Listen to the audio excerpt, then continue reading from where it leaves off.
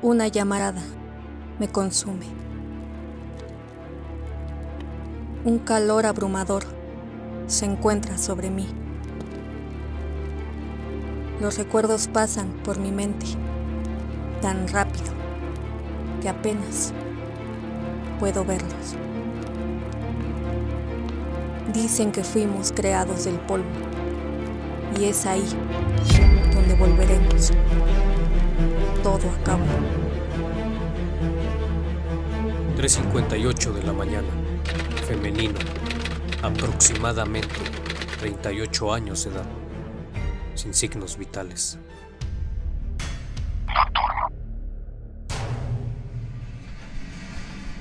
Corrí detrás de aquel niño. Entré por un jardín y vi nuevamente a dos perros que se dirigían hacia mí. Rápidamente entré por la puerta de aquel colegio. Caminé por la derecha y me pude percatar de un mapa del colegio. Algo extraño pasaba en este lugar. Esos perros estaban afuera. Eran similares al perro que vi antes en aquellas calles. Caminé hacia la recepción y ahí hallé varios papeles escritos con color rojo, similares al que había encontrado. Mi hijo estaba tratando de dejarme esas notas para que lo encontrara. Así que volví por el pasillo y salí por la puerta opuesta por la que había entrado.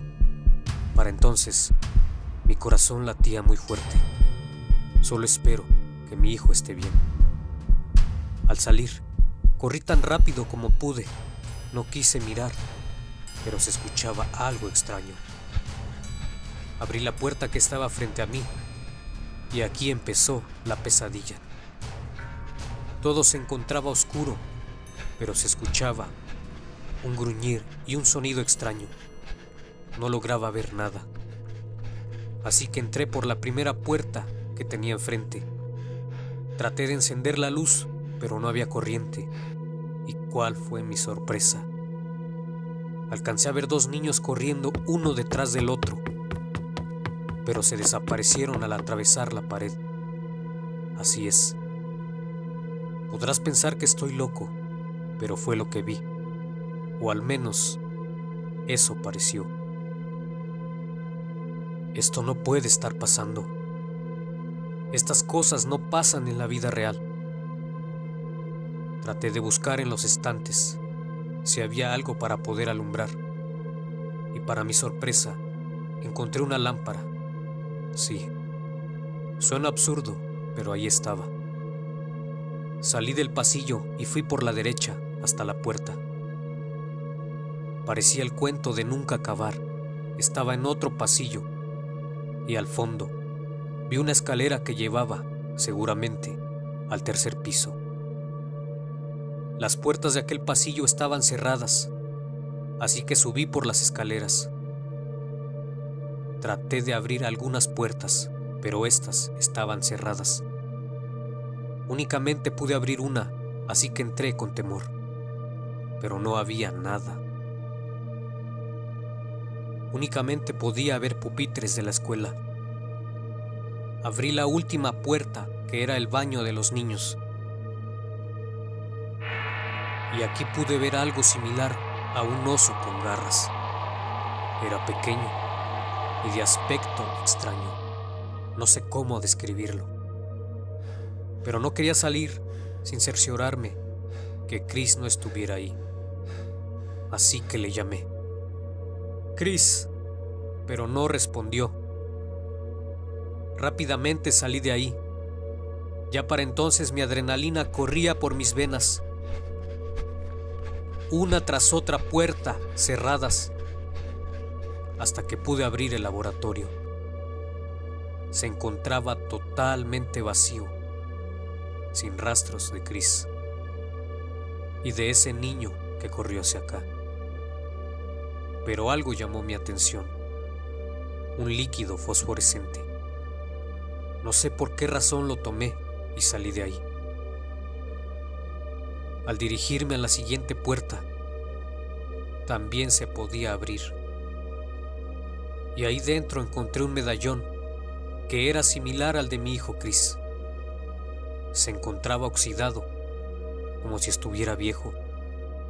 Así que con el líquido que llevaba lo limpié y salí. ¿Cómo es posible que el medallón de mi hijo esté oxidado si solo lleva un día desaparecido? Y parece que lleva años aquí. Algo no anda bien. Bajé hasta el primer piso y no podía abrir ninguna puerta. Así que decidí salir al patio. Quizás Chris estaba ahí afuera. Con la lámpara alumbré para poder ver mejor, así que miré un reloj muy grande que tenía una puerta. Chris debe estar ahí.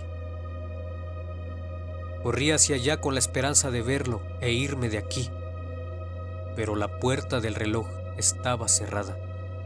En la pared estaba una leyenda que decía, Las llamas devuelven el silencio. La puerta del tiempo se abre, despertando a la bestia que acecha. Oro en la palma del anciano. La plata señala los caminos en lenguas perdidas.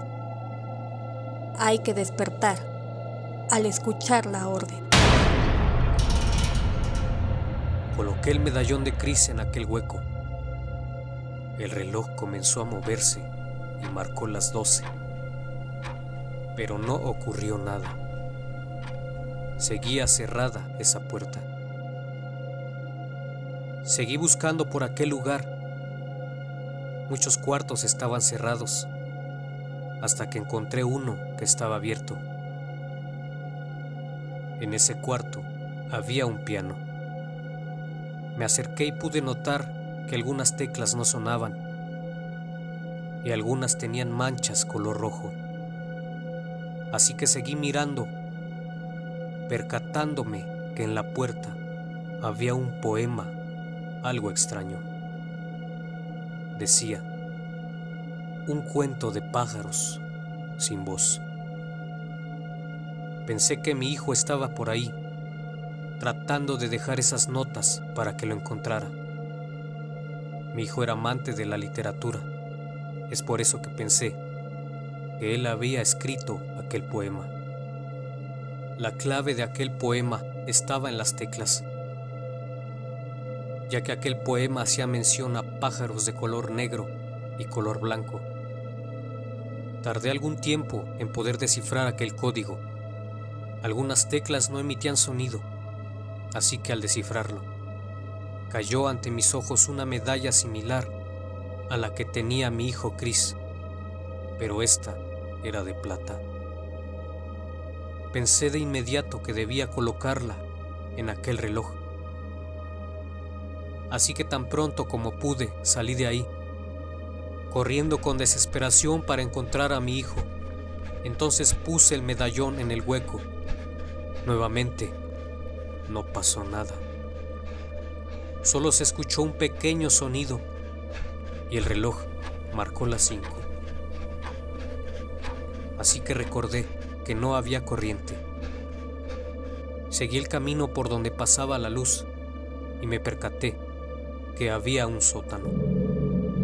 Bajé por ahí con mucho temor. Todo estaba oscuro.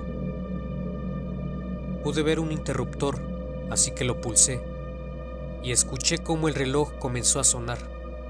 Al fin, mi hijo Chris debe estar ahí.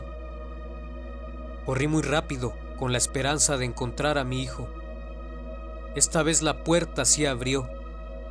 Entré por aquel lugar tan angosto y seguí hasta el fondo, pues no podía ver nada al salir. No puede ser, otra vez el patio. No lo podía creer. Pasé por ese túnel solo para poder salir nuevamente al patio. Caminé hacia la puerta que estaba frente a mí. Al entrar, me llevé una gran sorpresa. Pensé que la pesadilla había acabado Pero esto apenas comienza. Paredes metálicas, rasgadas y oxidadas.